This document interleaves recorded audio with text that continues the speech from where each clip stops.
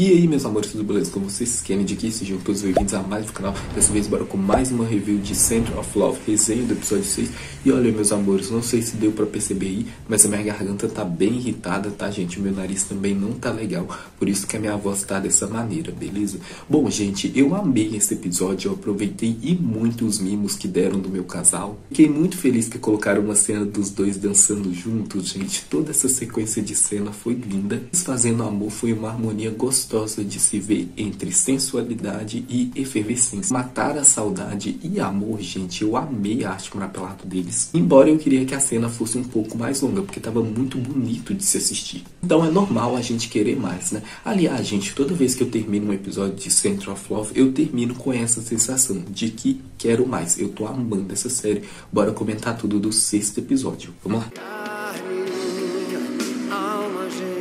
O episódio se inicia com o santo do gadinho do Wii e ele não tem medo de esconder isso. Aliás, eles trocam vários olhares e sorrisos aqui. O pai ali não fazendo ideia do que tá acontecendo, né, gente? Do porquê que o Sam mudou da água pro vinho em relação ao Wii. Já a atriz neta e a mãe ali, gente, sorrindo à toa. E o Sam admite pra atriz neta ali que ele se apaixonou pelo Wii. Finalmente ele aceitou que o Wii é a reencarnação da Conrad. Só que ele tá inseguro aqui, gente, porque ainda tem o Dr. Turner na jogada, né? A atriz neta fala para ele pra ele não se importar com isso, né, gente? Meio que já tá claro qual é a escolha do I, né? E aí a atriz neta consegue com que eles vão juntos ali em um parque de diversão e foi uma cena bem legal. O Sam entra no modo flertador e ele só foi mesmo, né, gente? Foi maravilhoso. Ele cheirando aqui o perfume do I, falando que o perfume fica muito melhor no corpo do I, gente, enquanto olha para ele maliciosamente, aqui ele fudendo o I com os olhos, Brasil icônico. O I então sai para jantar com o Tur, o Tur pede o I em namoro, o I apenas sorri aqui para ele, só que a cena corta para o Sam e a gente tem a continuação dessa cena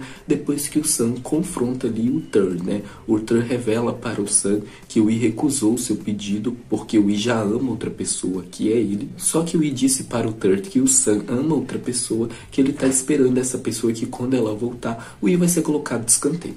Eu acho que não tem chances com o Sam, mas ainda assim ama ele. Thur então fala para o Sam que se ele não for sério em relação ao Wii para ele deixar ele ir, e o Sam fala para o Todd que ele gosta do Wii, que ele nunca pensou que ele gostaria, mas ele gosta. O Thur então fala para ele falar isso para o Wii, que o Wii vai ficar muito feliz e para ele não partir o coração do Wii, senão ele vai tomar o Wii dele. O Sam então fala que ele não precisa se preocupar com isso, ele sugere para o Thur sair da vida dele. E o Thur fala que ele sente que ele perdeu para o Sam novamente, né? embora ele não entenda exatamente essa sensação. Só que pelo que eu entendi aqui, não me parece que ele vai sumir da vida do Wii não, tá gente? Eu acho que ele vai recuar por enquanto, mas sumir da vida do Wii eu acho que não, porque os dois são amigos. E aí o Sam não sabe que o Wii não está em casa, gente, e fica batendo na porta dele ali. Ele acha que o Wii não quer abrir a porta para ele, porque o Wii tá com raiva dele, só que o Wii só não tava em casa mesmo, né? O Sam então acaba se declarando para o Wii. Ele fala que gosta do Wii, que quer ficar com ele, que ele quer cuidar do Wii, se o Wii dá a chance do Sam cuidar dele, que ele vai fazer o I feliz todos os dias. Nesse momento o I aparece aqui e finge uma dor de cabeça e ignora ali o Sam. Né? Ele fica evitando ali o Sam de propósito, que ele ainda estava tentando lidar com o que foi isso que aconteceu, né, gente? Porque ele tá muito apaixonadinho pelo Sam. Três Neto então dá mais um empurrão neles e os dois vão num date juntos. O Sam leva o I aqui para jantar, gente. Depois eles dançam juntos. Foi o Sam que convidou para essa dança, né? O I fala com ele que ele não sabe dançar bem, mas o Sam não liga. A maneira apaixonada e especial que o I e o Sam estão se olhando aqui, gente, maravilhoso. Eu amo meu casal. E aí, gente, o Sam fala que gosta do I, só que o I para ele ali e deixa claro para o Sam que ele escutou tudo o que ele disse, que ele acha que o Sam não gosta dele. O Sam apenas está se sentindo solitário. Ele então traz aqui todos os adjetivos ruins que o Sam disse a ele, né, gente? O próprio Sam disse como eu poderia me apaixonar por uma pessoa assim.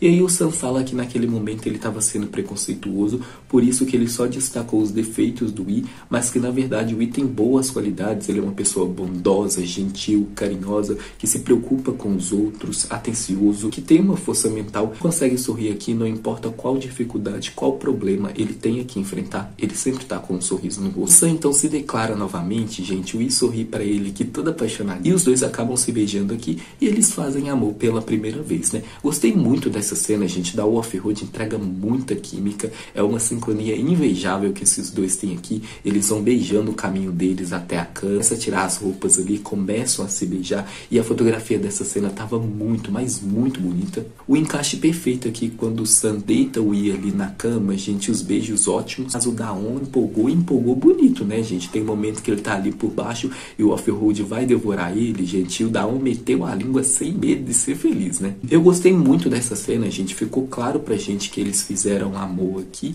mas eu queria que ela fosse mais longa, né? Porque ela é uma cena muito boa. Então eu queria mais dela. O Sam acaba tendo um sonho aqui com a Kunad, onde ele vivencia todos os momentos que ele viveu ao lado da Kunad, só que a Kunad ela é substituída pelo I nesse sonho. Pode ser no sentido subjetivo, né, gente, que no coração do Sam só tinha o amor que ele tinha pela Kunad, mas agora esse amor foi substituído pelo amor que ele tem pelo I. No cérebro do Sam ele só pensava, só vinha a Kunad e agora ele só pensa e vê o I. Outro sentido seria que o Sam, de uma certa maneira, tem a Kunad de volta nos braços dele, né, já que o I seria a reencarnação dela. O Sam então dá o anel que pertencia a Kunad para o I aqui e deixa claro que esse anel sempre foi dele. Eles voltam ali para casa, gente, e o Sam falando em alto e bom tom que ele e o I dormiram juntos, que isso é normal porque eles são casados, e falando para o I mudar para o quarto dele, né? E na próxima cena a gente vê o gado centenário sendo muito marido doméstico, né, gente? Maravilhoso. Ele já chegando abraçando o I ali por trás, dando o um selinho nele. E depois jogando o mozão na cama e querendo devorar ele. E aqui o I tá atrasado pro trabalho. Os dias de glória finalmente chegou, né? O I. Pena que não durou muito, mas a gente aproveita. O Sam então deixa claro para o Tal que ele não precisa mais procurar nenhuma mulher, de que ele tem certeza que o I é a reencarnação da Kunad. Sendo o Sam tem um pesadelo curioso aqui. Está uma névoa sinistra. Está de frente para estar da deusa Nauá, gente, repare a maneira como eles filmam esse momento, né? Dá a entender que a estátua da deusa é muito, mas muito maior que ele. É que a deusa lhe entrega uma metade da pedra das cinco cores. A pedra então começa a se desfazer em sua mão e depois o próprio corpo do Sam começa a ser desintegrado. O Sam então acorda ali, gente. Esse sonho pode ter múltiplos significados. Primeiro, pode ser que ele está pressentindo o perigo aqui, ou seja, Sam sonhou que a pedra das cinco cores está em perigo e, consequentemente, a vida dele está em perigo, né, gente? Já que ele precisa da pedra das cinco cores para evitar de virar pó e sofrer uma morte agonizante, igual o tal comentou no primeiro episódio. Segunda, gente, um alerta da Deus em relação que a Kunad vai aparecer, só que na verdade ela pode não ser a Kunad verdadeira, né, gente? Na verdade pode ser uma trambiqueira, uma farsante que só quer roubar a pedra do Sam. Essa segunda interpretação acaba se combinando com a primeira, porque se o Sam perder a pedra ali das cinco cores, gente, ele vai de paz. A terceira interpretação seria uma dica da Deus deusa Nawad que eles podem usar a pedra das cinco cores para determinar quem é a verdadeira Kunad, né, gente? Se é o I ou então essa mulher que aparece no final. Daqui a pouco a gente comenta. A quarta, gente, é que ela quis dizer para o Sam não confiar na pedra. E a quinta, gente, seria que a pedra pode estar certa, mas o Sam tem que fazer sua escolha com base nos seus sentimentos, né, gente? Com base no seu coração e não no que a pedra indicar. O que é que vocês acham, gente? Comenta pra mim. E aí o I leva o Sam para visitar a avó dele, gente, e a avó dele descobre aqui que o Sam foi o seu primeiro amor. Então aquele homem bonitão que ela ficava comentando com o I era o Sam, né? A gente estabeleceu essa hipótese aqui e a gente acertou. Então tá casado, gente, com o primeiro amor da sua avó. Meio dark isso aqui, né? Não? E aí fica tudo bem entre eles ali, a avó do I aprova os dois. E na próxima cena a gente vê o Sam olhando para Deus ali e começa a cair água do teto, gente, em direção ao olho direito da deusa, se eu não me engano, né? Como se a deusa estivesse chorando. O Sam então lembra do pesadelo da pedra desintegrando e ele também. Provavelmente ele pensou aqui, será que a deusa quis dizer alguma coisa para ele, gente? Provavelmente ela quis sim. Talvez ela queira alertar ele que essa Kunad que aparece na frente dele no momento que ele abre a porta do templo é uma farsa. Não sei o que vocês acham, mas eu acho que é assim. Mas existe a possibilidade dela conseguir fingir e fingir bem, né, gente? Então, esse ser o nosso drama final. Nesse caso, ela conseguiria passar pela verdadeira Kunad e o Sam colocaria o I de escanteio. Ou então, gente, a possibilidade é pequena, mas enfim, de que ela realmente seja a verdadeira Kunad. E aí vai escolher aquilo que eu comentei com vocês o Sam vai ter que escolher entre os dois e ele vai escolher o I porque ele se apaixonou por quem o I é e não porque ele é uma reencarnação da Kunad, já que nessa teoria aqui ele não seria a reencarnação da Kunad. Não sei, gente, mas eu acho que as chances dessazinha aí que saiu, sabe de lá de qual lugar e não devia ter saído, gente, alguém devia ter trancado a porta antes, deve ser uma tramiqueira, né? Lembrando que o Sam é rico e bonito, né? Então talvez essa mulher tenha visto essa oportunidade aí para conseguir usar o Sam. Talvez ela tenha algum motivo nobre por trás, gente. Por exemplo, ela quer conquistar o Sam para ter acesso ao dinheiro dele, para cuidar de uma mãe doente, por exemplo? Existe essa possibilidade? Sim, mas eu acho que não. E aí o episódio chega ao fim, gente, esse final me deixando com o coração na boca, extremamente preocupado com o I, né, gente? Coitado do I, gente, só tem sofrimento na vida desse rapaz, né? Enfim, agora ele comentar a preview do episódio 7, mas respeito com spoiler do próximo episódio. Se você gostou do vídeo até aqui, não se esqueça de curtir, se inscreva no canal e clique no sininho.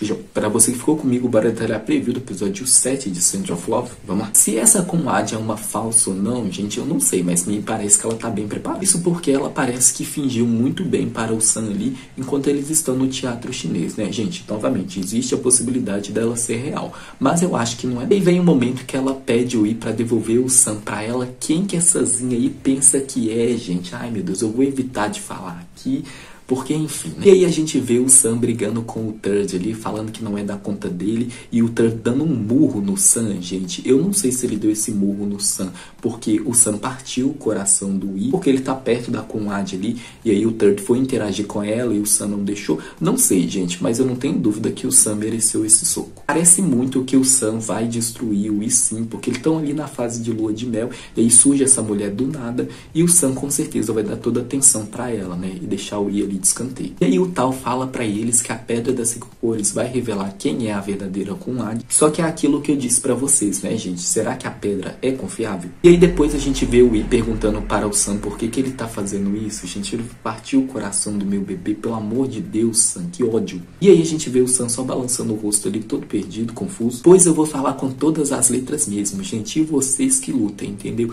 Se o Sam vier de palhaçada, gente, eu espero que o I sofra sentando no turn precisa aprender a lição. Afinal, gente, chifre trocado não é traição, é acordo. E se você gostou desse vídeo, não se esqueça de curtir, se inscreva no canal e clique no sininho. Me acompanhe também nas minhas redes sociais. Eu vou ficando por aqui. Muito obrigado a todos. Até a próxima, meus amores. Beijão. Bye.